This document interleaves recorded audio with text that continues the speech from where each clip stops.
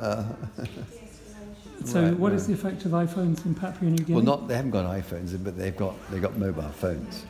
and and what and it makes them give up gardening.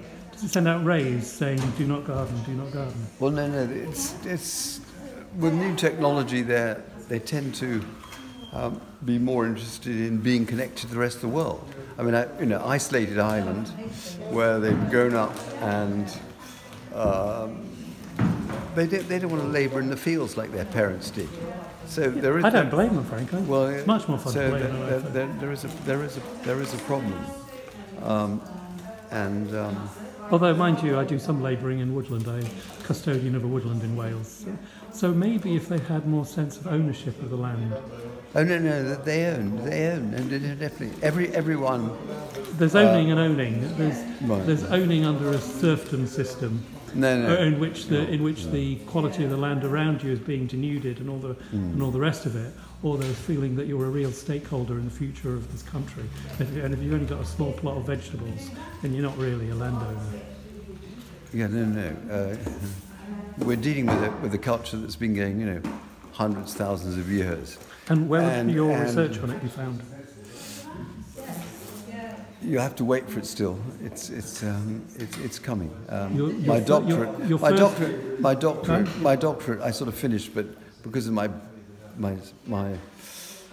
Anyway, basically, I, I'm I've delayed putting it in. Um, I'm um, To the main anthropological journal and no, no, publisher. no, no, no, Sydney University, but. All right, okay. You can find my other work on another people more famous, the Trobriand Islands. I think I've talked about this. Yes, But anyway, what's interesting is these people are matrilineal, which is intriguing because matrilineal peoples, they're only about 16% of all societies are matrilineal. And they are always difficult in terms of marriage. Marriages can be difficult. And um, interestingly, um, women tend to have a higher status in matrilineal societies. Well, that makes sense, doesn't it? Yeah, well, it- well, yes and no. Oh. Yeah, yes, you'd expect it, but a lot of earlier. Matrilineal societies Well- weren't that way. Why, why would they be Well, no- matrilineal if they're not Ma- making a statement about higher status? Ma- matrilineal doesn't, in fact, mean women in power. It's not matriarchy. No, no, it's not matriarchal, but it's passing the Yeah. possessions on the house. Yes, it does. It does. In with the But, but, but there's a tendency for brothers to be rather more important. So the brothers tend to have the power.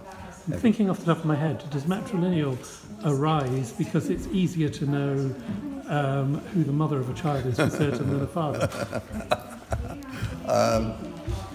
That, that you know, as an evolutionary explanation, an evolutionary explanation, but um, no. Um, How did it arise? well, we, we don't know how it arises. How could, Okay, what how do you could think sustains it? Well, what, what, what's, what sustains it is um, the organisation is um, a kin group. And a kin group, where I was, this kin group was based on the susu, the, basic, the breast. After all, we come from a Hang on, I'll just pull away so you can illustrate breast a little bit more. Okay, thank you. Right, yeah, yeah. And, and um, what's intriguing is that there's a tendency for marriages to be a bit frictional because you have to, you are never quite accepted as a husband uh, into the family of your wife and, and, and vice versa. And so um, you, you live between two places. You've got to keep You've got to keep a garden in your own village and a garden where your where your wife's village is. Oh, of course, you've got that split responsibility, So, and and yeah. ideally, you move every six months. Bicycles have, have done more to increase the range of the genetic pool than any other invention in history. So, given that this is probably not a bicycle based culture, No. what is the range between villages in which uh, responsibility for two gardens, uh, etc., occurs? Well, where I was, we were across um, a, It's a Eileen. great. Can I, can I break off our Yes, wonderful indeed, interview to say, hello, Eileen, you're on camera again?